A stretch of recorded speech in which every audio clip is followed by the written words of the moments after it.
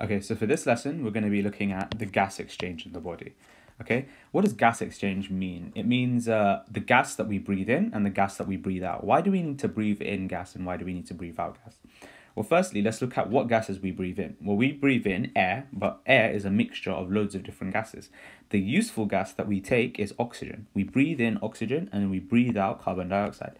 Why do we need to breathe in oxygen? Well, uh, to help us carry on surviving, we need to breathe in oxygen because the oxygen goes to our lungs and the lungs transfers it into the bloodstream and the bloodstream carries it to our muscles. So the, uh, we need oxygen so we can get it to our muscles so our muscles can work in our body to keep us surviving. Okay? And this exchange of gases happens in something we call the gas exchange system. So the gas exchange system, part of it looks something like this. So this is the gas exchange system. It, it comprises of many things. So the nasal cavity is the nose, is where you breathe in from. So you breathe in from both your nose and your mouth. And then this air goes into the trachea, which is called the windpipe. So it goes down the windpipe and into your lungs.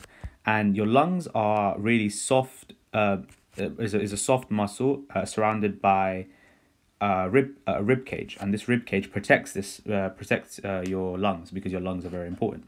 So we have the air that comes in and it goes to the bronchus, and then it splits up on at the bronchus into different branches called the bronchioles, and these bronchioles contain alveoli, which are tiny air sacs that transfer the gases from your lungs into your bloodstream, and we're going to look look at that in detail.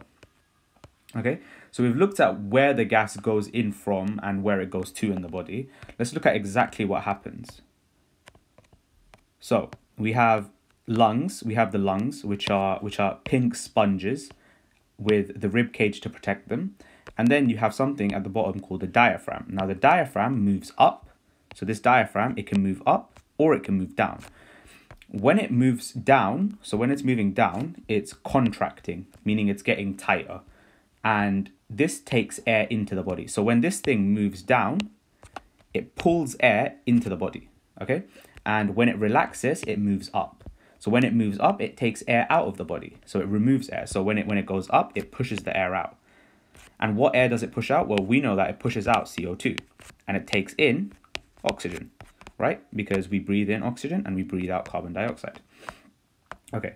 So we've seen what the diaphragm does, and now we know that the air taken in through the tra- air is taken through through the trachea, so it goes through the trachea. Now, this is the this is a very simple process where we have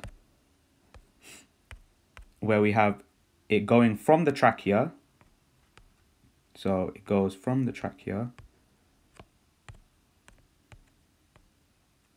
It goes from the trachea to the bronchus, to the bronchioles, and then to the alveoli. Okay, so we have to remember this process because it can come up in a question and we have to explain it step by step. So first it goes through the trachea, which is here, then it goes through the bronchus, which is here, and then it goes through the bronchioles, which are the tiny branches, and then it goes to the alveoli, which is here. Okay, and now we're going to look at specifically what happens in an alveoli. So, the alveoli is a tiny air sac which looks like this. So this is our alveoli here. This is our alveoli, okay? And so we know that inside the alveoli comes in carbon dioxide, uh, comes in oxygen and exits carbon dioxide, right? So what happens when the uh, oxygen enters? Well, when the oxygen enters, the alveoli is directly in contact with the bloodstream. And this oxygen will dissolve through the membrane and it, and it passes into the bloodstream. And we call this process diffusion.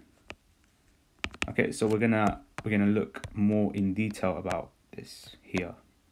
Okay, so the bloodstream contains carbon dioxide, and this carbon dioxide is then removed, and it's removed in the alveoli, and it gets replaced by oxygen. So oxygen replaces the carbon dioxide that exits. Okay, and these are your little blood cells which carry the carbon dioxide and oxygen and this happens through a process called diffusion diffusion is simply moving lots moving moving gases from an area where there's lots of it to where there's less of it. So here we have lots of CO2 and in the alveoli there's very little CO2. So where's the uh, where's the carbon dioxide going to go? It's going to go from the place where there's loads of it to the place where there's little of it. And in the in the alveoli, we know we breathe in oxygen, so there's loads of oxygen in the alveoli, and there's very little oxygen in the blood in this case. So the oxygen moves from the alveoli into the blood. Okay, and this happens through diffusion. Now, after the after the oxygen has entered the bloodstream, it will then be carried to the rest of our body. And in our body, our body cells need that oxygen. So that oxygen diffuses from the bloodstream into the uh, body cells. And that's what helps our body cells continue to function. So without oxygen, our body cells would cease to function and then we would no longer have control of our muscles. Now this is uh, so this is very convenient. The alveoli is very convenient. Like it, it removes carbon dioxide and it puts in oxygen. But what makes an alveoli good for this job? Well, there's three things. The alveoli is moist, so it has it's it's kind of it, it's like um it it's slightly watery, and this allows the carbon dioxide and the oxygen to dissolve really easily on the surface of the alveoli, and this allows the diffusion to happen faster. Again, remember diffusion is simply when gases move from lots of it to less of it. So there's lots of it here, there's less of it here, there's lots of oxygen here, and there's less oxygen here. So it just makes the diffusion happen faster if, if it's moist because it dissolves quickly. Okay, and then we have a good blood supply. Well, we know it has to, the alveoli has to have a good blood supply because it's in direct contact with the, it's in direct contact with the bloodstream. So there's lots of CO2 removed and lots of oxygen added. And then we also know that the alveoli, if you look at its circular shape, it's got loads of inside surface area. What does this mean? Well, that means there's simply more area for the gas to exchange, right? Because if there's loads of area, that means there's loads of space. So that means the gas exchange happens over a large space, and therefore loads of it happens, right? And that's the adaptations of an alveoli and the gas exchange system in our